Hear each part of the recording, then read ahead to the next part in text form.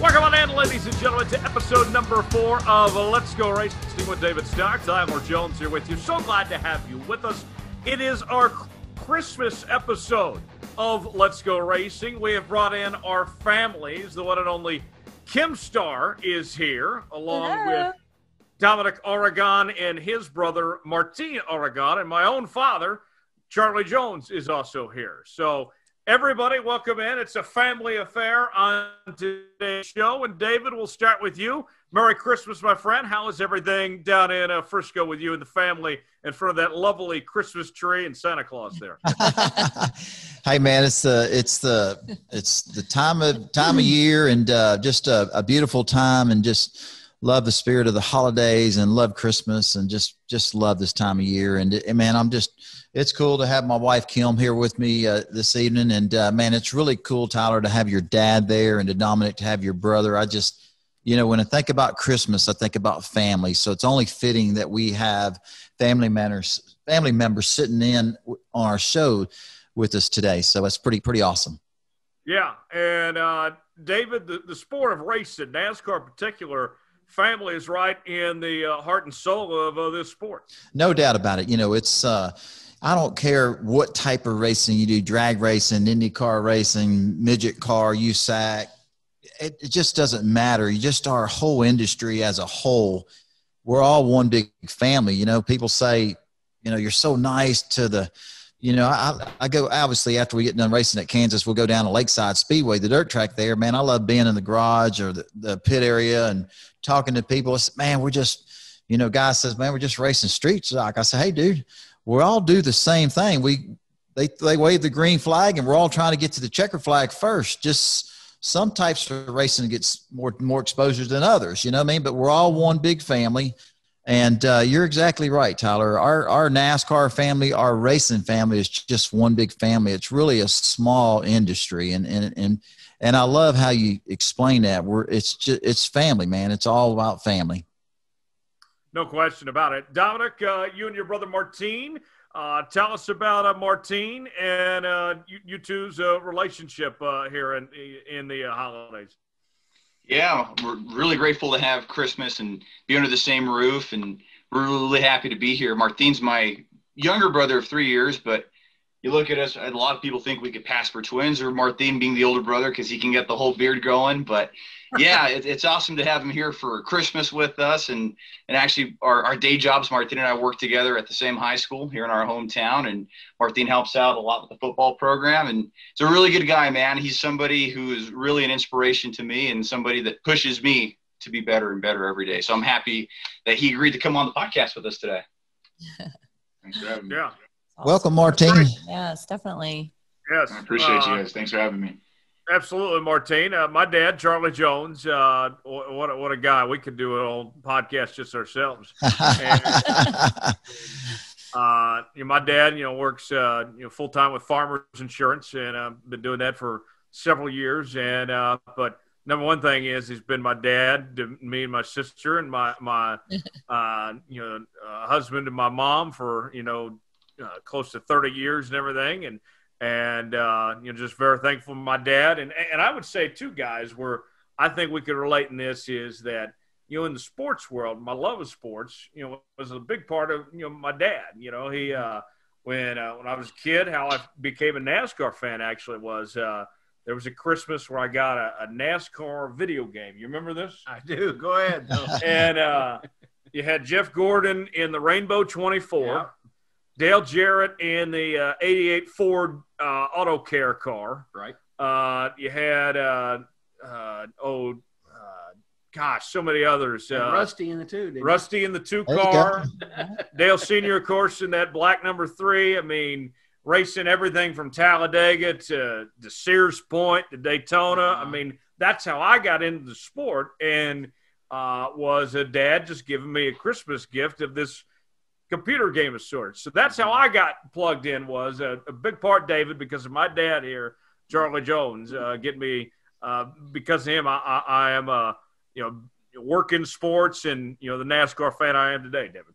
Well, I think it's awesome, Charlie. Um, first of all, thank you for giving me that Christmas present because look what it's turned into. Now look, look how he's done. I know you're proud of uh, Tyler there, and uh, man, what a what a uh, bright future Tyler has. And uh, man, when I met Tyler, I could right when I first met Tyler, that voice. You know, I, I just when he said hello, I'm you know, I knew right away. I knew I knew what he would what he did and what he was gonna do. You know what I mean? But uh, you know, it's your son has done great for himself, and uh, he's done a lot for our industry. And the coverage and and the NASCAR coverage that he gives our sport has been outstanding. You know, and uh, I'm proud to call him and Dominic my friends, my buddies, and uh, they uh, they really make our sport better by what they do for it. So uh, that's cool. Thank you for that. But uh, man, it's awesome having your dad on there. Yeah, oh, yeah. pretty awesome. It was our it was our family time all of sports was our way of connecting and and staying close and spending quality time together. And so, thank you. Yes, thank you, Dominic. Yeah, uh, that's a bit. Tell us about you and Martine. Uh, your your brother's a football coach and everything, uh, but uh, what what's the story there with, with you two and your your relationship between the two of you? Yeah, so Martine and I, yeah, we're three about three and a half years apart and we've like I think kind of like you and your dad, we've always been connected by sports. Maybe not necessarily auto racing, but we've gotten to to really bond over watching football and playing football as kids, and bonding on Madden video games among others. And the other thing too with Martin, he's very athletic and played all four years at the high school level of football. And, and I think this is Martin's story to share, but you ended up going to go play for New Mexico Highlands University in the rugby program. Tell them a little bit about that yes, that was kind of a unique experience for me on that. And walking into a program that had a lot of success was definitely something that I wasn't used to, but definitely fell in love with just the competition. Like Dom said, he and I are always finding ways to compete. I mean, being the little brother, you always got to do that, whether that's competing on video games or us in the front yard playing basketball. So getting him to understand what the, the entailed with rugby and showing him those those things on how the game was played, how the workouts would go. And that's something, you know, being back in Grants and now colleagues, we just have all the time in the world. And I think with COVID, uh, we're we're joined at the hip, so to speak. We we spend almost the whole days together, and it's just a cool experience with that. I know you asked about rugby, and, and it was definitely a cool experience, and I like to share those memories with him, calling and recapping the games with him, and uh, we won a title in 2019, and that was a cool, cool story to share with him as well. Nice. That's great. And that's awesome. You know, yeah. it's it's cool to to share those you know, growing up and being competitive, man, it just raises the bar for both of you. You challenge each mm-hmm. other, you know what I mean? And uh, like our boys, DJ and Vance, man, they're just, you know, they're kind of like what you guys are talking about. You know, I, I, I believe having a, a, little bit older brother that's three year three years older. Also, they're also three year different. Yeah, it yeah. just uh, nice. uh, yeah. absolutely, and it just uh, man, it just makes Vance a better athlete. You know what I mean? Because mm-hmm. they're very competitive, and just to hear Dominic. And, Martine, hear you guys talk, you know, just it's uh, man, it hits at home with us because yeah. man, it really it elevates your competitiveness and your athleticism. You know what I mean? Just makes you a better athlete when you have a bigger brother that challenges. You know, and yeah. uh, man, the rugby that's that Martine, that's pretty awesome, man. So when you step into a program that was already successful, what um, did that did that elevate you right away? I mean, that made you strive and get better. How how did that work out? Well, big time. I mean, like I said, growing up, we'd always go play at the park together, and it was always we were never on the same team. He was always the captain of one team, I was the captain of the other. And you know, playing with his friends that were older, I always tried to fit in with those guys, and so trying to prove like you know I, I can hang with these older guys, I can run, I can tackle, and so those experiences growing up from a young age really translated to the success, the successful part of the rugby side where I was like, you know, I want to compete with these guys and I feel like I can. I walked in as a true freshman and there were guys that they were coming off of a back to back title. And I was like, I want to prove that I can make it with these guys. They're the same age as my brother. So it just felt like it felt like, you know, as a kid again and had something to prove and, and trying to find that place to belong. And they definitely got the most out of me. I thought I was a person that worked hard, but it was like, you know, there, there's other athletes, other competitors out there that they put you in check pretty quick if you're if you're not doing the work you need to be doing. Yeah. Absolutely, man. Well, congratulations, man. It's cool. I, I love y'all's relationship. Build a work every day alongside your brother at the same high school and uh, being a coach, man. It's just, man, you're uh, that's cool. You got a great story, and uh, obviously your uh, the knowledge that you have for football and rugby. You know, passing that on to the, the kids you teach. us. that's uh, man. There's no better gratitude than that, man. So uh, incredible. Well, David, uh, I think Dom's here with the right reasons on that as well. I mean, he's he's the guy I can lean on and know that he has my back, and we, we discuss things with how we can improve as coaches. So he's yeah. been a huge help on that that side of it as well. That's what a great. blessing! Yeah, yeah, pretty cool, man. David, we're gonna we're gonna spend most of the show today talking about you and Kim, but uh, I, I do want to ask, just you know, when when you have Kim at the racetrack or as somebody by your side and such to you know whether it's you know seeking advice or just every step what what does what does kim mean to you in, in your racing career david? Man yes she's been through you know she's um it's kind of like a she rides the emotions with you you know what i mean? So she's there to support you and you know when you're away from when you're when you she was just stand she was there at the racetrack to support me and supported me well and encouraged me and uh it was just somebody to you know you know you're so into what you're doing and the, the the busyness of the day practicing and qualifying and you know you're you're so engaged with your team.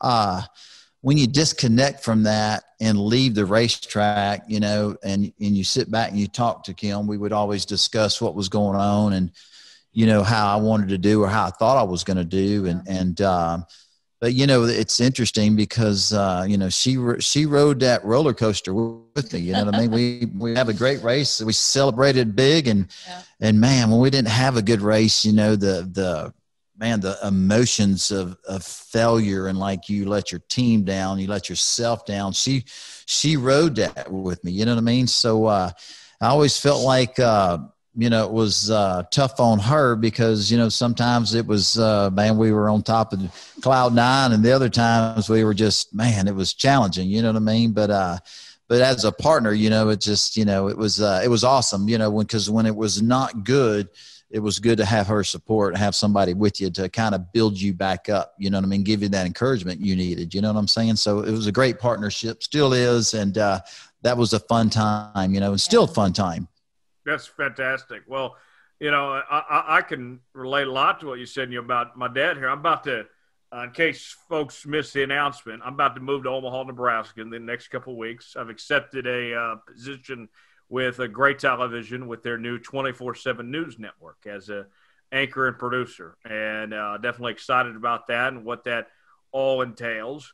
And uh, you know, I'll, I'll be honest, you know, I've been weighing my options, looking to make a change of some sorts for a while, but every step of the way, um, you know, my dad and both my parents, you know, my mom included, have been somebody that you know I can trust, I can turn to. You know, if I needed advice or on making you know a decision of some sorts, there's that trust, that level of establishment there. You know, we've been through the good times and the bad times together. Right. You know, and, and, I think that's where family is so important. Is you know your inner circle of sorts you you, you can't trust everybody and you got to have people that you can rely on and and uh, that w- that's what I would say is more than you know anything you know of of that it just means so much. I can have somebody I can trust like my dad like that so.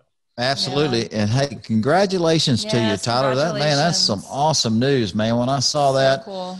you know four or five days ago uh, man, I was just like, man, I was so excited for you, man. That's that's uh, that's a big deal, you know, going from radio to uh, yeah, news, a sports newscaster, or I don't know if I'm saying that right, but man, that's uh, that's pretty awesome. That's when when I hear you speak, you know, I'm like, man, I can close my eyes and and, and just hear you on television. You know what I'm saying? I'm like, man.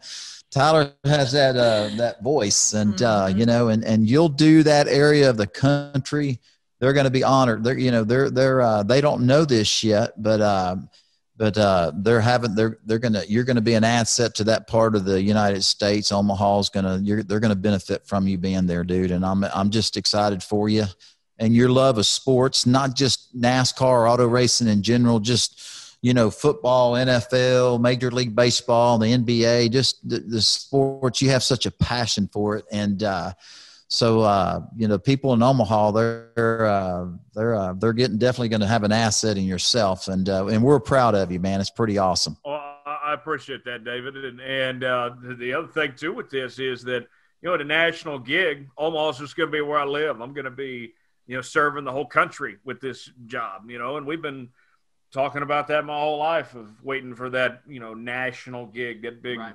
uh, thing of some sorts. That's been something you know we've believed and prayed for, you know, and, and it's coming to fruition. So I'm excited about that and just that uh, that next step. So yeah, Tyler, kudos to you, man. I'm really excited for it. And, and, working in media, you know how hard it is to work up that that market ladder. And a lot of people in their 20s are cracking top 100, top 50 markets. You're going national at 24. I think that that's commended in itself. that's awesome. Not many people can say they're doing that. So we're really happy wow. for you, really proud for you, and certainly your biggest cheerleaders in Grants, New Mexico. Well, thank you. I'm excited. We'll still get to do this show and my other uh, podcast, the Jones Report, which uh, I did actually. You know, I'm, I'm in my parents' house in uh, Broken Arrow, Oklahoma, just outside of Tulsa, and uh, I've been doing that show, the Jones Report. My parents let me take over the uh, the dining room yes. my last couple of years of high school just to be able to do that show and do a webcast like we're doing now. I mean, that was uh, that was crazy. I'd be screaming for two hours every day. Yeah, it was the, it was the shed, and it was the dining room.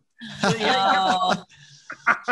awesome. Hey man, without our parents, where would we be, man? You know, and, and, right. and, your mom and dad never stopped being parents to you. You know, we, uh, you know, you still, uh, like you said, you call them for advice and uh, talk to them, and set, you know, somebody you can really trust and can give you, uh, give it to you real. You know, they'll they won't sugarcoat it; they'll give it to you real, whether you uh, wanted to hear it or not. You know, and uh, it's a beautiful thing, man. I just think yeah. it's just awesome, and you know, your parents are still supporting you. Will always support you, and it's kind of cool to hear what you. uh to take over the house as long as you have. You know what I'm saying?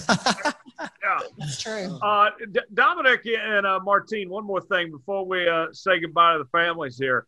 Um, there's you two, your relationship. What, what I find so fascinating too is that you got all sorts of stuff you're working on for the future. That you know, with you two, it's not just your brothers, your your business partners too.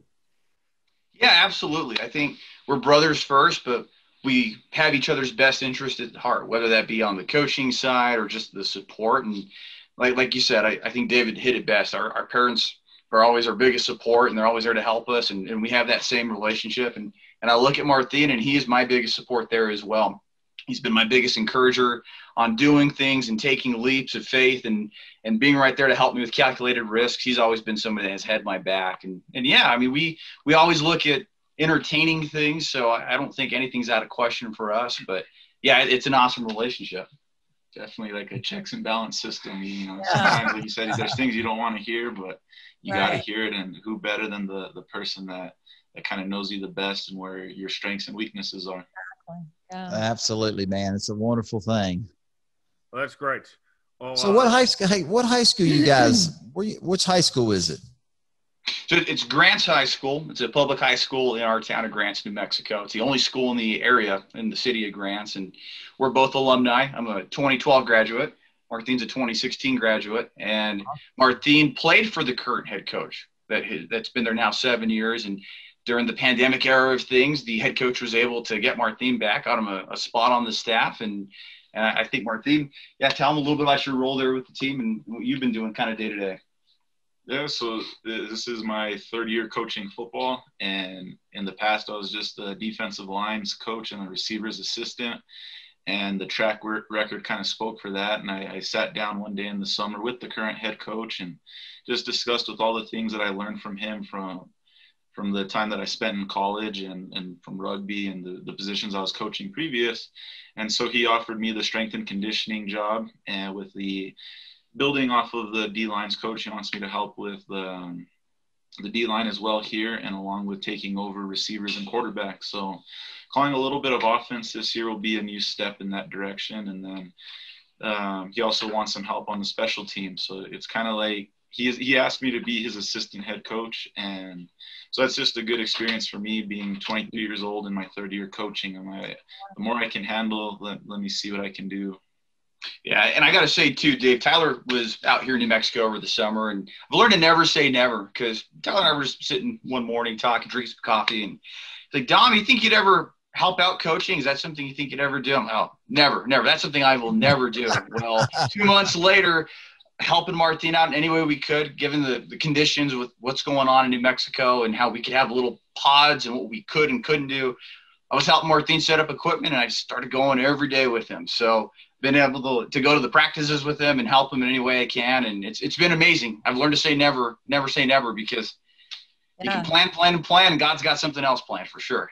He's going to take you another direction. absolutely, man. Absolutely. I, I think it's awesome that Martine played high school football for the coach. Now he's working beside him and he's part of the staff. I mean, that, that is really that that don't happen a lot you know what i mean? And i think that's really cool and i love hearing martine everything you're doing you know what i mean? Uh, if uh you know a couple more years you'll go play be a coach in the college and next thing you know you'll end up here in dallas texas with the dallas cowboys and we could use your help right now. Oh god that's uh, that's great, uh, guys. Uh, Dad, thanks for stopping by. Martine, thanks for stopping by. Kim's going to stick around, and uh, we appreciate you joining us. Hey, Charlie, nice to meet you guys. Charlie, Merry Christmas to you, sir, and uh, so yeah, thanks for joining us. And uh, Martine, uh, Merry Christmas to you. And man, it was it's it's been a it's an honor to meet you guys. And uh, man, it's uh, thank you for sharing some of those uh, your stories and your family stories with us. Yeah, it's great. Bye. Absolutely. Thank you guys for having us. Happy Merry Christmas. Uh, Happy New Year. Absolutely. So, Thanks. Bye, Martine. If you're watching on uh, on video, now's the awkward part where we uh, transition the chairs and center the microphone. we'll uh, charge on with the rest of today's episode of Let's Go Racing with David Starr. So, so, so David and uh, Kim, I, I got to ask you, where did it all start for you two? When did you first meet? You want me to start? Yes, go. So, it's a great question, so Tyler. my brother has always had the need for speed. And so he heard Uncle Mike was having a running an ad on the radio about Team Texas, the school that he owns, Team Texas High Performance Driving School. And so my brother was like, I want to do this. I want to go out and race these cars, you know. And so I grew up in Plano, Texas, talking about football. Oh my gosh. So we we didn't know anything about NASCAR. And so we are like, my whole family packed up, went out to the track and see what my brother was going to do and all of that. And so anyway, my um, I was single at the time, and so my sister in law was like, "Look at that guy over there! Oh my God!" And I'm like, yeah, he's cute, but you know, I'm just having fun being single, you know.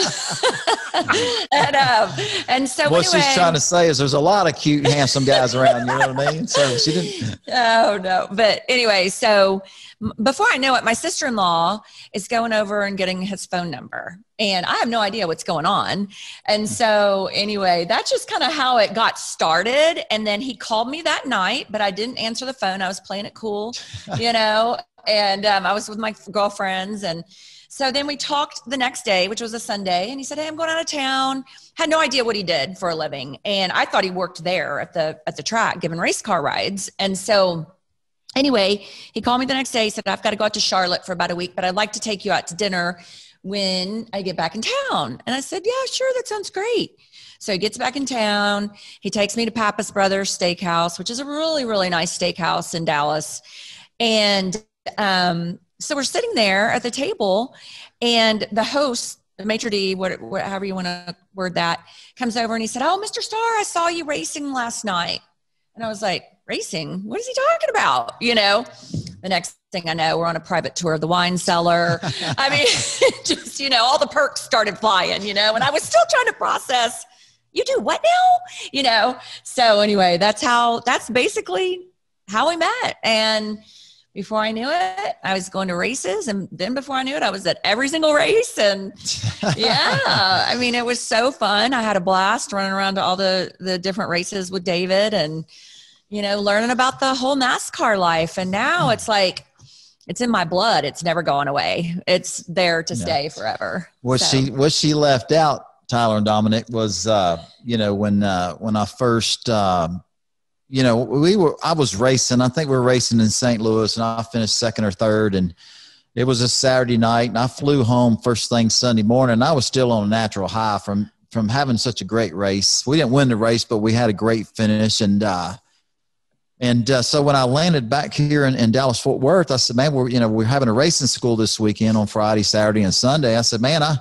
I landed and I jumped in my pickup truck, uh, ran out to the Texas Motor Speedway just to help out, you know. And um, I noticed her right away. And, and what she didn't tell you, you know, I went over and met her mom and offered her mom a free race car ride and, and yeah. offered Kim a free race car ride. And uh, it was just, it was cool to, to meet her family. And, and, uh, you know, when, when I was done working, she was gone. So I was like, man, I was kind of disappointed, but the, her sister-in-law gave me the number and that all worked out. I called her, and and uh, I think I was gone for about ten days, but um, she honored her commitment. I asked her out on the phone when she finally answered, picked up the phone to talk to me, and uh, when I got back from racing, uh, we went out, and then. Um, and then you know it was all about her. I was learning about her, and then uh, somebody at the restaurant come over and said, "Hey man, I watched you at the race. You had a great race, whatever." And kind of, kind of, kind of screwed up the situation because it was just all about her at the time. But uh, but anyway, it all worked out, and uh, and then uh, you know we were we were dating a little bit, and um, and then I had to we I was driving for Wayne Spears at the time, and we had a test and at the Milwaukee Mile and uh, unfortunately, I had a, th- a, throttle that stuck on my uh, on my race truck. We were, it was on a Wednesday afternoon, and uh, hit the wall head on going into turn three. And uh, thank God for the Hans device. I tested it big time. Uh, we knew it worked, but it saved my life. But it broke my left hand, my left foot, and my collarbone. And uh, so, you know, you passed out. Yeah, yeah, I passed out, but from the pain and everything else. Yeah. But a doctor friend of mine in Austin, Texas, Dr. Mike Putney said, Hey, if you ever break a bone or whatever, racing or, you know, whatever, make sure that the doctor, wherever you're at, make sure they get in touch with me. So, uh, when they finally got me an ambulance and took me to the hospital, uh, they, they were telling me I needed some major surgery. And I said, Hey, if you'll grab my phone and, and uh, call Dr. Mike Putney in Austin, Texas, let him know what the diagnosis is, what I need. Uh, he he asked them to to uh, sedate sedate me so the mm-hmm. pain would I could handle the pain.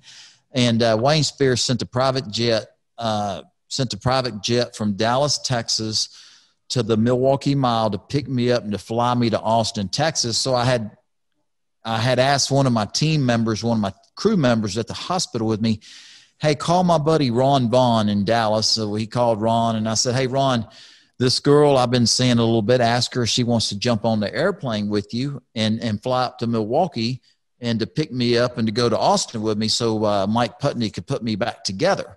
And uh, so, anyway, I'll let her take over the story. Oh, it's kind of interesting. well, so anyway, I was out with my friends that night. We were eating uh, Mexican food at a little restaurant in, off of down in Uptown in Dallas, and my phone's just blowing up, but I don't know the number.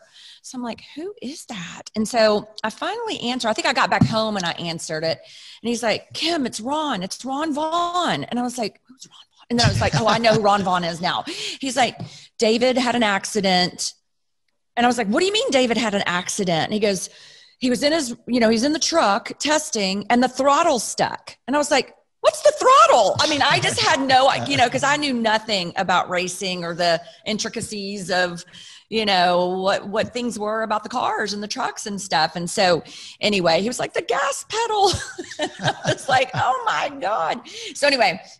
We got jumped on that private jet that Wayne sent for us, and we flew up there. Got David, then flew to Austin, and that's just kind of the start of our, you know, when we really you know, got close. You got to. Under- I kind of had to take care of him.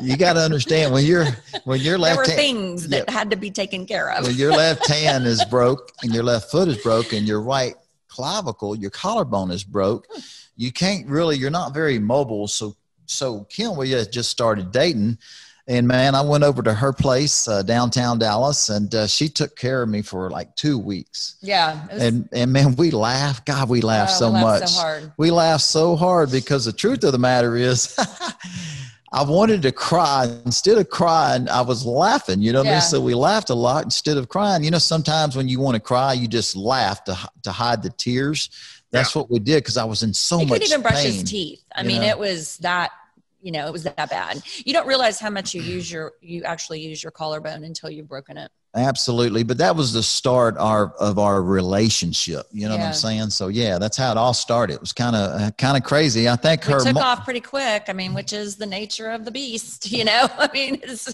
I remember- was delayed. Kill Yeah. was said her mom her mom had called and tell him what your mom said. Oh, my mom was like, "Wait a minute." What did she say? She was saying, "You, you sure you want to get involved?" Oh yes, yes, yes. She was like, "You're, are you sure?" That was actually my cousin Angela. Okay. But anyway, she was like, "Are you? Su- do you think he would change careers?" And I was like, mm, "Not so much. No, I'm pretty sure he's not going to go sell insurance somewhere. I mean, not that there's anything wrong with that." Um, Tyler, wait, your dad sells on insurance, right? Yes, yes, he does. Oh, tell him no offense. I don't mean it like that, but you know, you, like- just- you know, you can't see David going and sitting in a cubicle eh, with a phone all day. I mean, he's got to be around those race cars. That's what he Right. was born to do. So, anyway, yeah, I was telling my family, no, he's not gonna. I don't think there's any getting out of this one. but then they all fell madly in love with him. So, and they just always, you know, wish him well and pray for him, and you know, hope he does good. So, yeah. Sure. And I have to ask you, Kim, how did Yeah. David propose? How, how what's the story behind that? If there was an interesting story behind it. Oh, It was so great. It was, and we're actually coming up on our anniversary. Um, so he, um, we lived out in Flower Mound, which is west of, it's almost close, it's pretty close to the track. And we had an amazingly beautiful house that we bought before we even got married. And um, so we had two boxers and one was Harley, one was Daisy. Harley was the boy. And so, anyway, we had gone and looked at rings, but I just didn't know when. And so it was Christmas morning, and we woke up, and um, and David, I go, let's go, let's go open presents. And he's like, let's pray. And I was like, what? not that we don't pray, and not that we don't, you know, ha- we're not we're Christians, but I was like, well, he never does that. What is he doing? You know. Oh, that was so weird. I was like, what are you stop it? So anyway, we prayed, you know, and all that. And then I run down and we start, you know, kind of separating our gifts out and everything. He goes, Well, hold on a second. And um, so he went in the kitchen and I was kind of doing my thing. Well, what he was doing was he was tying a ribbon around Harley and hanging my my ring off the ribbon. And so our house was all glass. It was all windows. It was very bright in there. So Harley, Harley, I'm like, come here, Harley, you know, and he starts running towards me. And then I saw that bling, bling off of the bow. And I was like, oh my God, oh my God, you know, and I started freaking out. And uh, so then he got down on his knee and asked me to marry him. And I said, yes, of course, I will. And so we ended up, that was Christmas morning, he proposed. And then we actually got married on January the 5th um, a year later on January the 5th, which is his mom's birthday. So we celebrate our wedding anniversary with his sweet mom's birthday. And the cool, you'll never forget that wedding anniversary. Yes, Oh, yeah. I know. how long you guys? How long you guys been together now?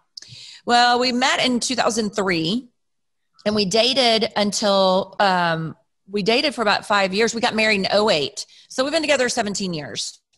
yeah, and and you know when I when I proposed that Christmas morning, uh, Kim had a video or something going. We have a video on accident. That's right. We were videoing our our us opening Gifts. gifts and uh yeah so she had turned the video camera on and set it somewhere so it was it captured everything on an accident you know what i mean? So we we kind of uh built that. We uh kim hired a video videography uh for our for our our uh, videographer. for our uh, our wedding. And and and in that in that video shows when I proposed, Yeah. you know, and I couldn't believe that that moment was captured on accident, but it was all captured. It was pretty cool, pretty cool yeah, they deal. came out. My mom set that up. So they came out and they interviewed me, and then they interviewed David, and then they put it all together. And then we're like, wait a minute, that video, we got to show him this. And then he dubbed that into the, if that's the right word, but dubbed it into mm-hmm. that clip into the into our wedding video. Yeah, it was So pretty aw- pretty awesome, man. Pretty awesome. So cool. And the, and the crazy thing, you know, I, I dated Kim forever. It wasn't five years. It might have been seven. no, it wasn't. Was it five years? We got married in 08. Okay. and we started dating in 03. I thought it was forever. You know what I mean? But you know, I don't know whether to take that Well, in a good way or that was a great way. thing. you know, we were just busy. I know we I was busy racing every week, and you know, just there was a lot happening. You know, I mean, I had this cool girl that I fell in love with, and and didn't want her. I wanted her by my side twenty four seven. You know what I'm saying? But uh, but man, the racing business. 2003, I was driving for Wayne Spears. You know, we were winning races. We are just competitive every week, and going to the, the NASCAR banquet. And Rick Allen, Rick Allen on NB on uh, ESPN. I think ESPN what covered our, Yeah. our NASCAR Truck Series then, and man, Krista Voda and Rick Allen. I swear, for four or five straight years, you know, you finish in the top five. You know, I finished. We're at the banquet. You know, the first ten years or whatever. Yeah, so fun. And man, they, you know, you finished third, you finished fourth, you finished fifth. They, and they celebrated the top 10 first, you know, 10th through first through our, to our champion. And, and, uh, you got to go up on stage. They set you in a chair and Krista Voda and Rick Allen would interview you. It was awesome, you know? And, uh, and man, I remember, uh, like the second 2004, you know, we're talking about the season and how great of a season you had and what's going on for the next year and, you know, and about a race you won or almost won. And then next thing you know, Rick Allen says, Hey, David, when are you going to propose to Kim?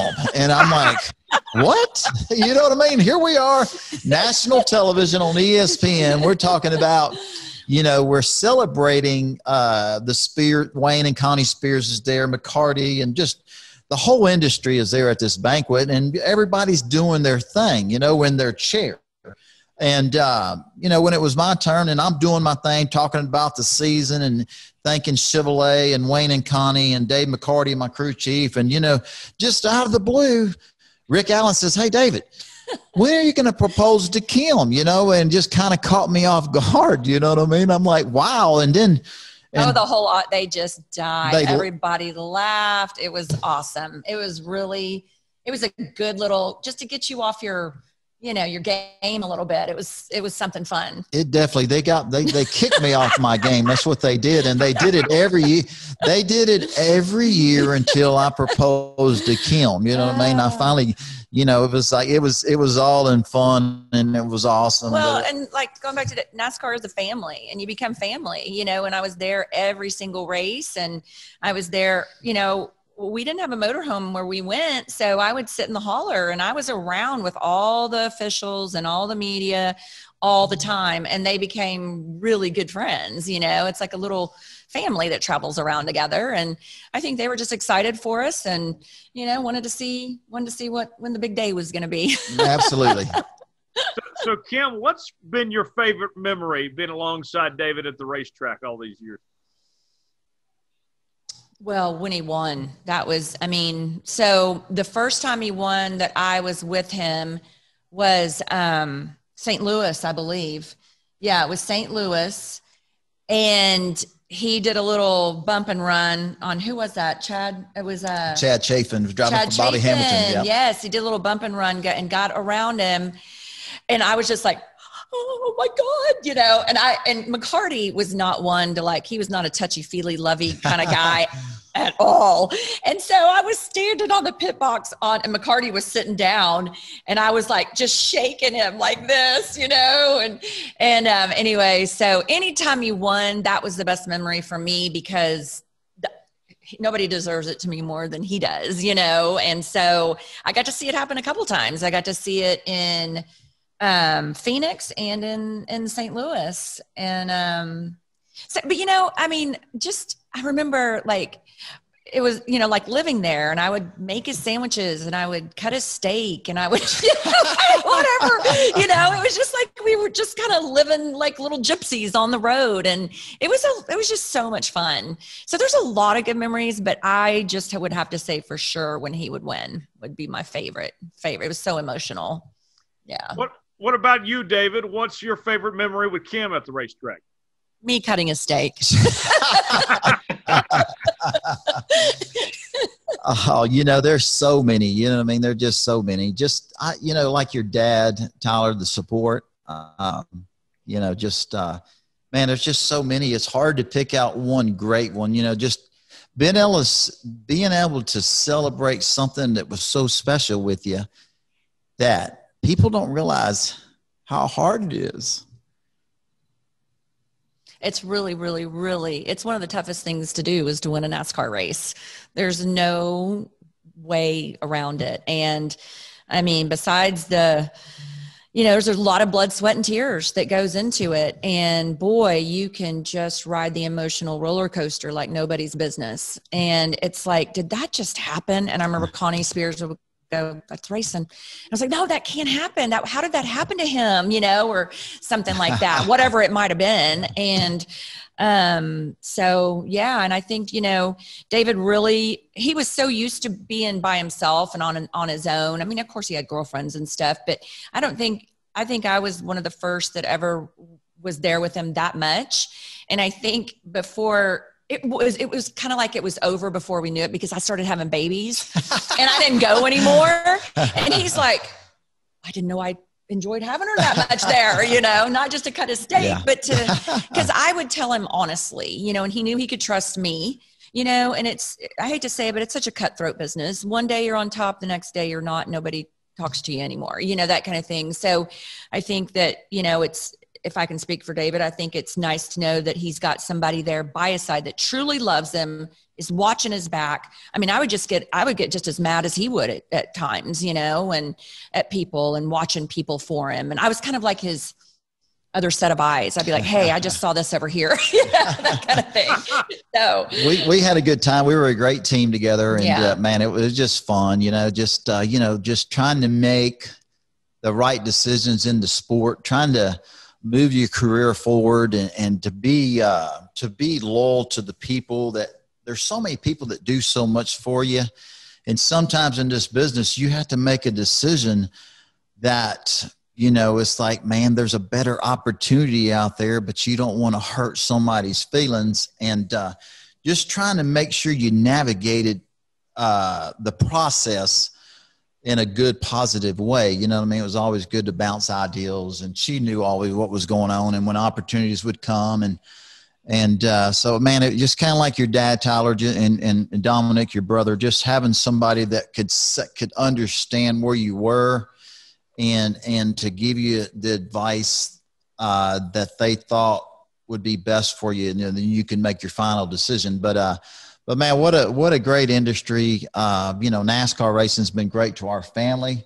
We wouldn't have what we have today. Our kids, just everything we have is because of this great sport and the great people, the race fans, and man, and you know all the sponsors. Man, there's just you know we're family.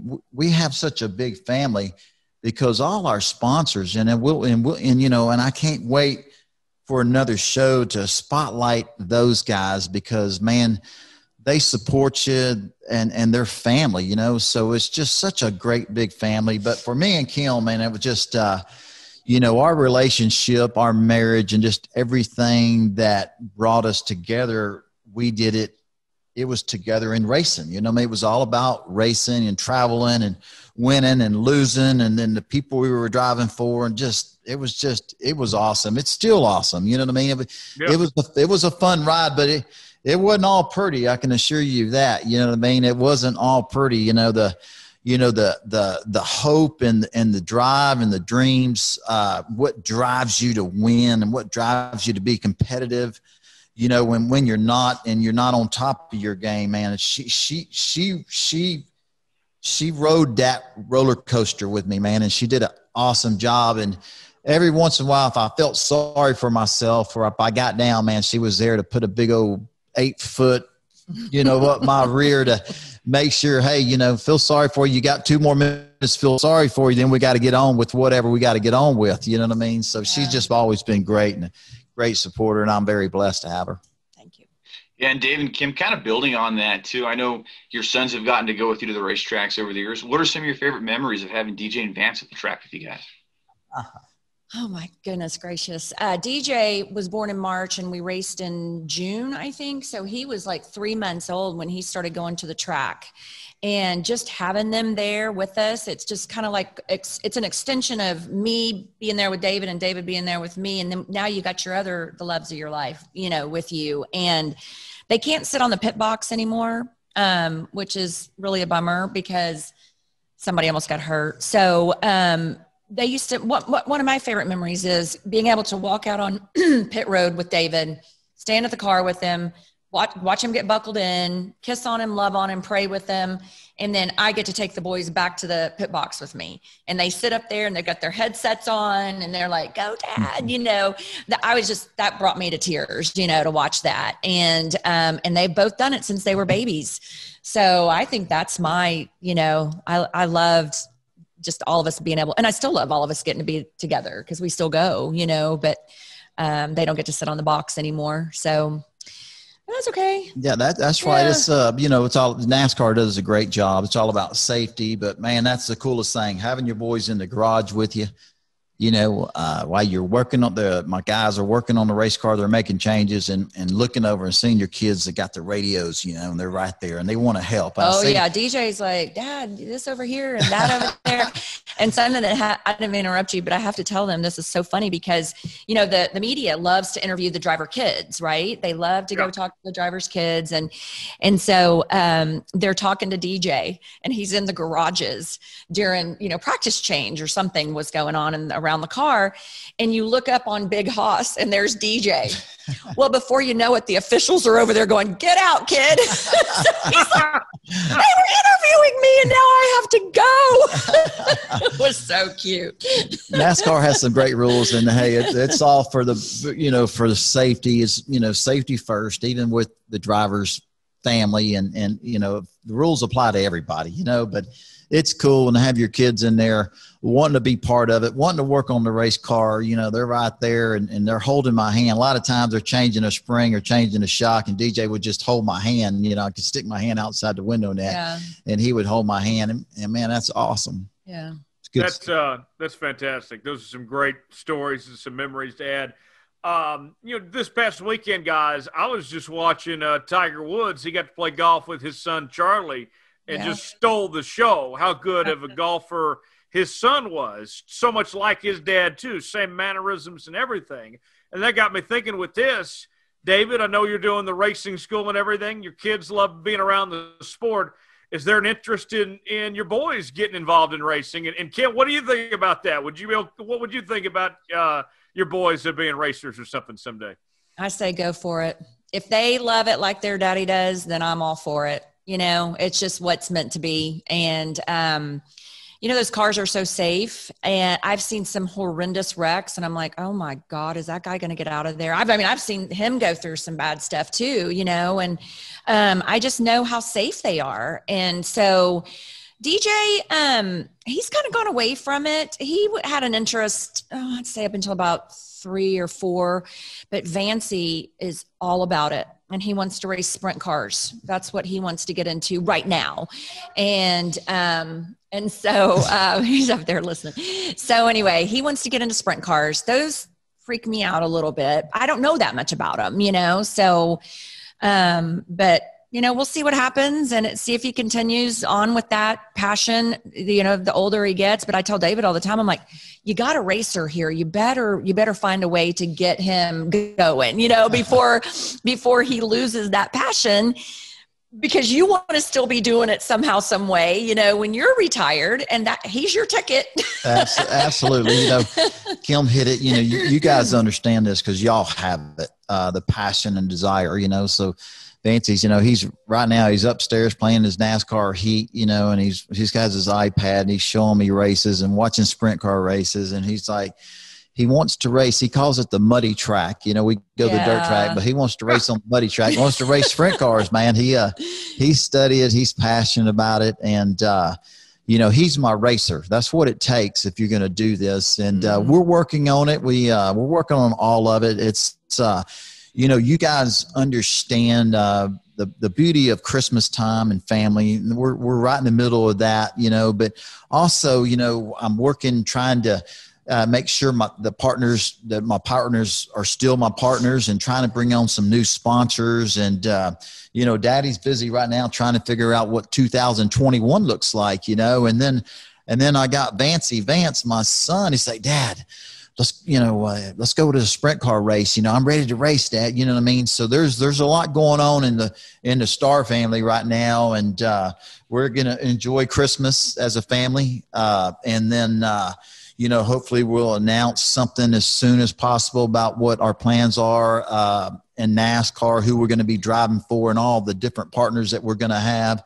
That's going to be awesome. And then, you know, after we know what those plans are, and we can get to go to Daytona, get the season started, and then I'm I'm going to be, you know, I'm going to be like trying to figure out how to get Vance in a sprint car at, at his age and where we do that at and what kind of cars. So there's there's a lot going on here. So uh, the beautiful part is that you know, kind of like you, Tyler, you know, sitting there with your dad and and and Dominic sitting there with your brother, you know, following. You know, I was when Charlie, your dad was talking, Tyler. You know, you followed in your dad's footsteps. I followed in my dad's footsteps, and man, it's that that's cool. Yeah. You know, it's Yeah. pretty cool to have uh your son wanting to follow you in your footsteps. Pretty awesome, man. That is too cool. Definitely happy for you guys and excited to see uh, what goes on with your kids. We're certainly going to be following them and, and rooting them on. Uh, a couple more things before we get out of here today. We'll have Ask David in uh, just a moment. But first, time for this week's NASCAR news and notes. Dominic, what do we got this week? Yeah, so every week on the show, we take a look at the top three or four NASCAR headlines that are going around from the last time that we've talked on this podcast. And unfortunately, one of the biggest items of news that we've been following too, unfortunately, is Sherry Pollex, the longtime girlfriend of NASCAR Cup Series driver Martin Truex Jr., announced on social media last Friday that her cancer has returned. So Pollex has been battling that, and she battled it about six years ago as well. So our, our thoughts and prayers go to her and and her entire family, and, and hope she's able to to beat cancer like she has the previous two times. And I can I just jump in real quick? I don't know Go if ahead. David's Yeah, told you this, but I am a breast cancer survivor. Now I know hers is, I believe hers is ovarian, Mhm. uh, if I remember Yeah, correctly. right, Yeah. yeah. Um, but I've just thought about her over the years, and I know how, oh my gosh, just terrifying it is.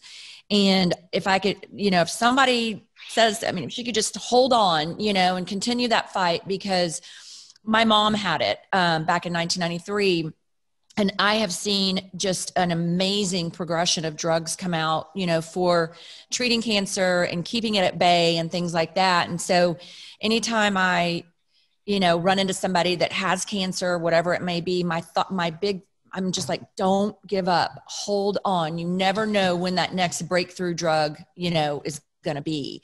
And so anyway yeah i just that breaks my heart that it's back. I, just I, I mean i'm just i know i know the fear i know the terror i know the feeling and it just be saying prayers for her.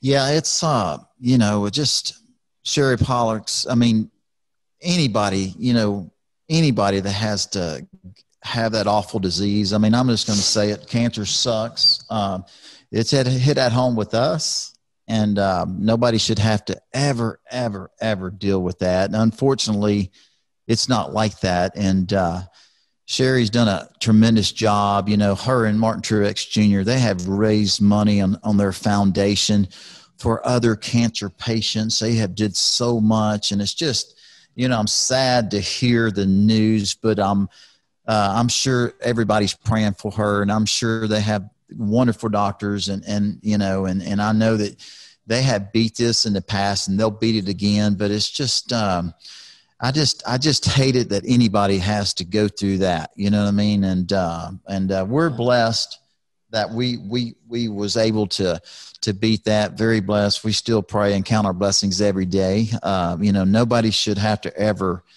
Uh, you know, you don't wish that on on anybody to have to go through those treatments and have to deal with that and get the news. But uh, man, we are we are definitely pl- praying for them, and I hope that they have peace, and I hope those doctors have all the knowledge they need to make sure that she's going to beat it again, man. And I'm uh, I'm just I pray for them, and I'm and uh, just can't wait to hear the outcome. I'm sure it's going to be great. Yeah. Absolutely. And some other NASCAR That's headlines for that we're sure. Uh, we're, we're certainly thinking Yes. Yeah, And- I, I was just saying we're certainly thinking of uh, of Sherry and Martin, and our best goes out to them. Yeah. Absolutely, absolutely. And just some other NASCAR headlines too from the last few days. MBM Motorsports announced their plans to field two entries in the Daytona 500 in, in just seven short weeks here. That's coming up for the 500 in 2021. You're gonna have Timmy Hill and Chad Finchum attempting to make the Daytona 500 as open cars for MBM Motorsports. It's Carl Long's team. He filled full-time entries in the Xfinity Series. And it sounds like Chad Finchum will also be attempting some more cup races in 2021. Not sure if Hill will run the entire schedule like he did in 2020, but it sounds like those two will also have some races lined up in the Xfinity Series.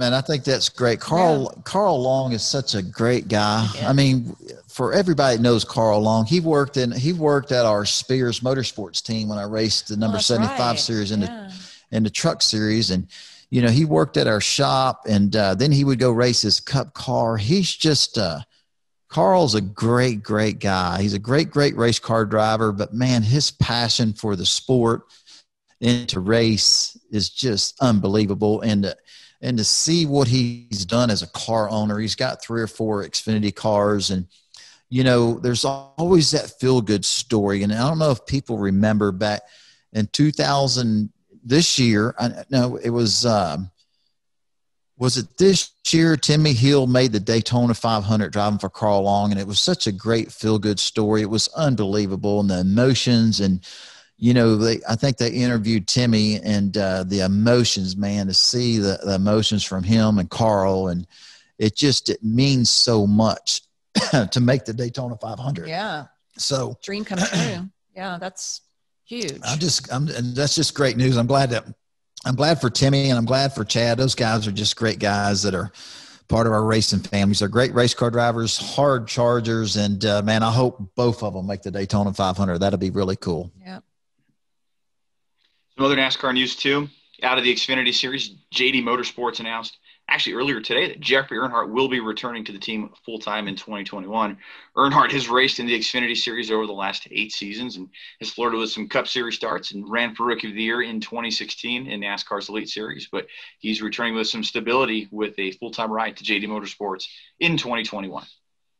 Awesome. David, you're you're you're uh, real familiar with that JD Motorsports team. How do you feel about the pairing with uh, JD Motorsports and uh, and Jeffrey Earnhardt here? Well, man, Johnny Davis is a great car owner. I mean, what he's done for the the sport, the Xfinity Series, and fielding uh, four or five entries every week, year after year. He just, you know, he's done a lot for our sport, and uh, and he's given a lot of people opportunities, and that's a big deal. You know, you look at some of the drivers that he has that drive the JD Motorsports cars.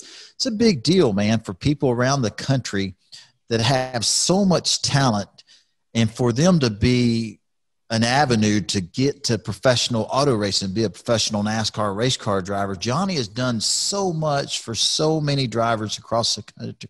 The country is amazing, and uh, the news about Jeffrey. I mean, I, Jeffrey's such a great kid, and uh, I don't know if he's a kid anymore, but he's a, a great friend, and uh, you know the Earnhardt. Jeffrey Earnhardt. And it, I just think it's cool having an Earnhardt name in NASCAR. You know, it's uh, when Dale Jr. retired, and there was not a there was not an Earnhardt in the field. Something's wrong about that in our sport. You know what I mean? And uh, so His dad raced for a while. Yeah, Kerry. Kerry, yeah, absolutely. You know, Yeah. and and uh, it's just not right to not have an Earnhardt in NASCAR. You know what I mean? So, Jeffrey, uh, I'm glad to hear of the news that he'll be back full time with uh, JD Motorsports, and uh, you know, I pay attention to Jeffrey. He's he's a good friend, and and uh, race against him. And then when I this year during the, the pandemic, and and I didn't, I wasn't full time, and I would and I would watch him and. uh see where he finished, but he had some great runs, you know, and, and to keep that nucleus and come back to the same team with the same crew chief, same equipment, you know, it's just that team's only going to get better. And I look for Jeffrey to have a, a great year with uh, JD Motorsports. And, uh, and again, it's, it's just great having uh, Earnhardt in the NASCAR Xfinity series. And just, you know, and like I said, I did, I hated it when the truck series and the NASCAR Xfinity series or the Cup Series didn't have an Earnhardt out there. You know, what I mean, something's wrong with that, don't you guys think? Right? yeah, I know That's true. exactly That's what true. It's good to see you mean, Dave. Jeff. Absolutely. Good to see him land on his feet, and I think Yeah. you hit it there Dominic, too, David. We got time. Oh, good, good, We got time for a couple more. We, we got time for a couple more, Dominic. What else we got? Okay, cool. We'll make this the last one. So, you guys remember the All Star race where NASCAR moved the numbers more towards the rear of the car? That could be a possibility that NASCAR is exploring. So, Adam Stern of the Sports Business Journal is reporting that NASCAR is experimenting with it and remains talking to teams about slotting numbers back more permanently in the future to maximize sponsorship exposure. So, NASCAR is still kind of talking with the teams about this, but the earliest this change could happen is with the next gen car set to debut in 2022. Man, I don't really know how I feel about that because I'm kind of those old school guys. Ever since I started going to the racetrack at Meyer Speedway with my dad, you know, the door number, the numbers on a NASCAR, a stock car go on the door. You know what I'm saying? And and I I love what NASCAR is trying to do. They're trying to give our sponsors more exposure, and I understand that. I get it, but I'm you know I'm old school. I'm a, I'm a creature of habit, and I kind of like the numbers being on the doors and on the roof of the race car, and putting the sponsors on the hood and the upper rear quarter panels and the lower rear quarter panels. I'm just that's just how it's always been in in my career in my lifetime, you know, and and I just don't really know how I feel about having the number on the rear quarter panel and putting the sponsor uh, where the number usually goes. You know what I mean? It's it's just different, but I you know I think everything NASCAR does over the years and everything I've always seen them do, they're they're going to do what's best for our industry and whatever it is they may do, I'll, I'll support it. But I can assure you that you know it, it's going to be different if they make a change. You know what I mean? Because I'm just so used ever since I was Yeah. a little boy that the numbers go on the doors. You know what I mean? So anyway, I mean, what's y'all's thoughts on that? It looks so unnatural when it's on anywhere else. It does. Uh, To me, it- it's got to be on the door. I know that they're trying to maximize sponsorship and such, but it, it just looks off, looks weird. I can't do it. It's got to be on the door. I'm with you, Dave. Yeah. I echo those thoughts too, guys. It's just I'm a creature of habit as well, and it's always been that way. Having the numbers where they are, let's try to leave them there for as long as we can. yes. Yeah. Absolutely. Exactly. Guys, uh, time for our final segment of the show. Ask David. We uh, ask you to submit questions on Facebook or Twitter. Uh, hit us up at Starr Podcast. Would love to hear from you there. And uh, a couple questions this week. The first one is uh, from Hallie. Hallie writes, and uh, Kim, we'll, we'll ask you to chime in, give your answers as well. Uh, but this question will be for both of you. Uh, with Christmas around the corner, what gift from David's childhood does he remember the most? So, Kim, same with you. What question from your childhood maybe you remember the most? My pink Huffy bicycle. My pink Huffy bicycle with the little strands and the white basket. It's the best gift ever. Nothing real exciting. That's exciting, you know. I loved Absolutely. I loved it. Man, my best gift as a kid growing up was always my big wheel. You know, always uh, my big wheel was a, a big deal. You know, when I was three, four, five, man, I my I couldn't wait. I always asked Santa Claus for a big wheel and some Hot Wheels race cars. You know, and uh, a racetrack, one of those electric racetracks. But man, the one that just comes to mind was just that big, that big wheel. You know, you had. Uh, three two wheels in the back and one big one and pedals in the front. And man it was kind of i would put uh put numbers on i would put number 43 on one side and number 14 on the other because my two heroes were uh Richard Petty, richard petty and aj Foyt. foyt you know? And then i would put a number six somewhere on that because that was ronnie chumley's number you know? Yeah. so i got to I, I felt like that was my race car, you know, and I would rate our driveway had sections, you know, and, and I would act like I was at Meyer Speedway and I was racing around the racetrack in my in my big wheel. But I could remember every time Santa Claus, I'd wake up Christmas morning and walk into the living room with my brother Jimmy and Johnny, and uh, man, I. I always asked Santa, I want, a, I want a big wheel Santa Claus. I want a big wheel. And when he delivered, man, I was so happy. But that's some of the memories I have of, of uh, What's your favorite gift? you know, as my favorite gift growing up as a little boy. That's cool. Uh, you know, I, I said earlier, I, I, I love that NASCAR video game I got for Christmas one year, Mhm. but I got, I was learning guitar and got an electric guitar when I was about 11 or 12 years old. And that was kind of the sign that I had said, "Oh wow, I, I can actually play this thing. I can, you know, actually mean something of some sort." So uh, that was cool getting that from my parents one year. Dominic, how about you? Uh, is there a Christmas gift from your childhood that stands out? Yeah, I, I kind of think kind of like when we talked about that first podcast, that NASCAR '99 video game. Santa, mom and dad, of course, helping everything with Christmas that year, and gosh, we got a lot of games on the PlayStation One, and Santa's gift of NASCAR '99 was awesome because that fueled my passion for the sport. Because nobody in my family watches or really cares about auto racing, but that fueled my passion at four years old. And then, kind of like I, I feel like I'm copying you, Tyler. It wasn't an electric guitar, but I did get an acoustic guitar when I was eight years old, and I kind of played around with that a little bit, and eventually found my way to the drum set. But yeah, I, I, think those two stick out the most: the NASCAR '99 video game at four, and then an acoustic guitar at I think seven or eight years old. That's cool. That's oh, you cool. See the differences in our gifts and y'all's gifts. Times have changed. Absolutely, but hey, you know, and and what's cool? I just I just hope all the parents out there, and you know, and you know, like uh, Dominic, your story, and Tyler, your story. Uh, you know how racing you know started at a young age from christmas gifts. And i just hope all the little boys out there and girls uh, that you know if you're three four five or six years old their nascar gifts will will put them and they'll be able to tell about them later on how they became to love our sport yeah. of, of stock car racing. You know what i mean? Yeah. so i just i just think it's awesome. And uh, with all the cool stuff they have out there these days compared when we were kids you know what i mean uh, you know, they didn't have a NASCAR Heat and all these cool computer racing games. You know what I mean? So uh, I just hope Santa brings a lot more uh, racing games for all the little kids around the, the yeah. country, and uh, and we got more racers in the makings from that. You know yeah. what I'm saying? Well, David's getting me a Whataburger gift card for Christmas to feel. Absolutely, man. Awesome. All right. Another question. This one comes from Tracy. Tracy writes uh, When the pandemic allows us to return to the track and camp out and watch races, will David come out and grab dinner at the campsite in Texas with his old friends from Houston? Absolutely. Yes. Absolutely, I will, man. I, uh, that's we, the best part is the infield. no, no, the camping.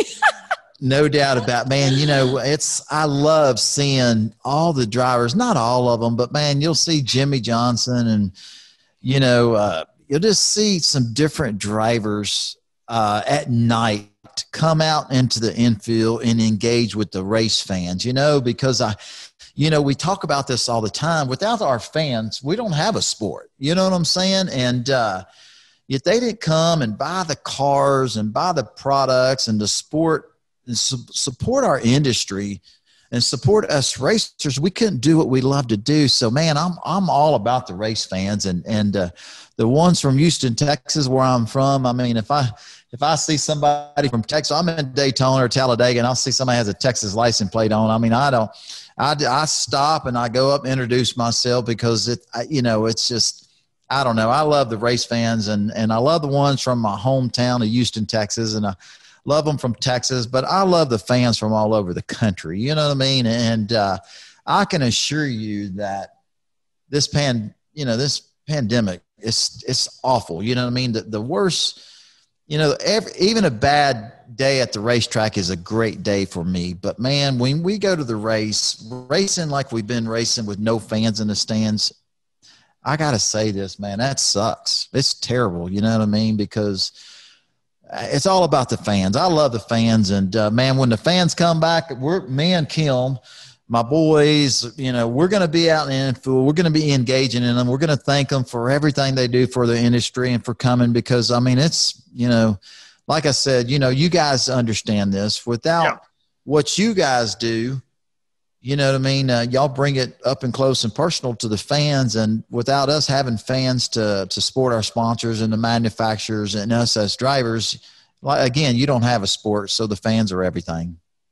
That's great. That's great. Uh, guys, we're uh, just about out of time. Uh, before we let everybody go here, let's uh, let's just go around the room. What's going on for Christmas plans? Dominic, we'll start with you. What's going on with you and uh, the Aragon household? Yeah, so my mom and dad, my brother and I will be joining my grandma and grandpa on my mom's side, and my mom's sister and her family, we always meet at my grandparents' house on Christmas Eve. We usually go after Mass, but with, with everything going on this year, we'll probably watch Mass online and go over, go have some tamales, some pozole, some chili, nice. and we'll go home to our houses. And then Christmas morning, meet at my mom and dad's house, and we'll go open presents and have a big breakfast and spend the entire day. So that's kind of our tradition that we do every year. And certainly looking forward to it, and especially this year. We're so much there's so much to be grateful for, and we're so happy to be able to do it again this year. Are you close That's to right. Placitas? I'm sorry, say it again. Are you close to Placitas, New Mexico? Plac- yes, actually, Placitas is about feel like an hour and a half drive from here. Yes. My best friend just moved out there. She lives. Oh, wow, it's a very small town too. It's not a lot of yeah. people on Placitas. It's dog. I mean, it's so cute. It's like halfway in between Albuquerque and Santa Fe. Mm-hmm. So right there along I twenty five. Yes, yeah, I've already been out to see her. It's awesome. Well, man, I love I love y'all. I love y'all what y'all are doing, man. Just uh, again, Christmas family and and your traditions. Yeah. It's just awesome. Love to hear that. That's awesome, Dominic. Yeah. What about you, Tyler? Yeah. I'm uh, I'm going to be with the uh, family here in the Tulsa area for uh, the next couple days and and uh, enjoying you know being them. Christmas Day going to be my dad, who you saw earlier, my mom, and my sister. Just enjoying the time together, and then uh, the day after that, we'll have uh, you know, go up to see my grandparents and some of my cousins, aunts, and uncles, and such. And and uh, Christmas will be different because this kind of a goodbye of sorts. Uh, I'm going from being three hours from them and being around for holidays and such to uh, double that time. I'm going to be six hours away. I'm not going to be able to be home for all the holidays and such uh-huh. anymore. So uh, that'll be a little bit different. Going to be uh, maybe a little emotional this Christmas, but nonetheless, it'll be a great time. So certainly grateful for it and grateful for family. That's what the holidays are all about. What's going on with the Starr Crew? Yeah. Man, we uh we don't know. We have no idea. No, I'm just kidding. we live day to day. Um, no, we're gonna have um, Christmas Eve here at our house. We invite um, David's side of the family over, and we typically cater in Mi Cocina or some, you know, some type of Mexican food, and uh, we open presents and things like that. So tell them what we really do drink? No. Oh. oh, we play left, right, center. Yeah, we, we gamble. they love to gamble. We drink and gamble with our children. I love it. We're not shy. Uh, yeah, I know. We uh, so Uncle Michael come over with Tanner and Tyler, his boys, and then David's mom, dad, sister, brother-in-law, and their kids, our kids, and uh, we'll do our Christmas exchange. Yeah, Jimmy, Johnny, and Lori, Aunt Lola, and uh, Cindy, and Yvonne, and Danny. The list is getting bigger, isn't it? I was trying to lay low because of the COVID situation, but uh, but anyway. so yeah, that's what we're gonna do. And then New Year's, I mean Christmas Day, we usually go to my side of the family, but too many elderlies on that side and we just we don't want to risk anything so sure. i think we're going to go to david's sister's house and hang out over there and with them some more so. yeah but, what, but one of our cool tradition traditions and just like uh, again just like following our father's footsteps you know as a kid growing up uh, you know, we we would always go to midnight mass. Mm. You know, being at Christmas Eve at my at Mama's house, my grandmother's, and uh, man, we we had such a big big family, and man, I I love Christmas. I love Christmas Eve ever since I was a little boy. I, I just love it. The lights, the the trees, Santa Claus, just everything's awesome about Christmas. But uh, going to midnight mass was always a tr- tradition for us, and yeah, uh, man, I. had. I have never missed a midnight mass, and I'm not real sure if we're having midnight mass Christmas Eve night or not, and I will find out. But if we are, I'll be there, and if they're doing it viral, I'll watch it on a, you know, I will watch it on on the computer. And uh, but the coolest thing is waking up Christmas morning, man, waking up and having Vance and DJs like, Dad, Dad I mean, it's the sun's not even up. You know what I mean? And it's six a.m. or six thirty or seven, and man, they're just chomping at the bit. We make them sleep with us, and uh, I drug them. we, we we make sure I'm the kidding. doors make sure the doors locked. But after midnight mass, Susie, uh, Daddy comes home, and uh, Daddy's Santa Claus, and uh, you know, I I uh, I uh, uh, I put. Uh, you know, I uh, put out all the they know. Put out all this the Santa Claus, uh, you know what I mean? And uh, so anyway, uh, and waking up Saturday morning, Christmas morning is pretty pretty special and pretty awesome. So I'm I'm pretty uh, pretty excited about that. You know what I mean? And then, uh, but anyway, man, it's just it's a great time for not only our family, y'all's family, and all the families out there. Just Merry Christmas to everyone. Yes. If you take one thing away from today's show, David Starr is not wink is not Santa Claus. Wink, wink. Right, exactly. He's just being silly. Yeah, yeah. well, guys, we got to run.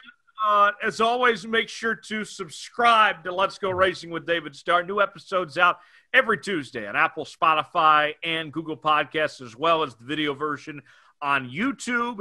And uh, you can also follow us, follow the show on Facebook and Twitter at Starr Podcast, and uh, also reach out to us via email, starpodcast at gmail.com. And uh, it's where you can find out more information, connect with us there. Dominic, what's going on on the uh, racingexperts.com this week? We've got another giveaway planned that's coming out Tuesday. So if you'd like to win some NASCAR merchandise and some relics and some autograph stuff, those are some great stocking stuffers. All you got to do is just follow us on Twitter, and we'll take care of you if you win. That's great. Kim, thanks for stopping by and joining us. You were uh, such a delight, such a pleasure, and and uh, you're welcome back anytime. Thanks for spending uh, your uh, evening with us, and hope you and the family have a great Christmas. Well, thank you both so much for having me. It's been a blast, and I wish you all the best and everything and always. Thanks for letting us borrow your husband each and every uh, Monday Of night.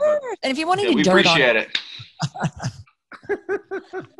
no, you always. Oh my gosh, always welcome.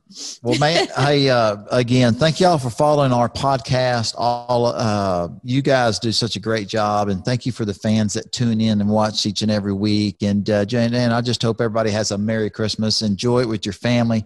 Take it all in. It's been a it's been a tough year for everyone in the world, and I just hope Christmas is extra special for everybody. And and I'm looking forward to uh, New Year's Eve and and to for 2021 to get here. And uh, so, anyway, Merry Christmas, everybody, and Merry uh, we'll, Christmas, Happy New Year. we'll see everybody back on the ne- on our next podcast next week.